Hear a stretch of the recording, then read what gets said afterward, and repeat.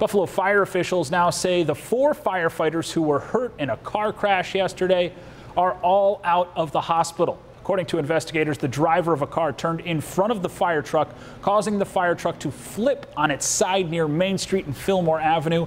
The driver of the car wasn't hurt.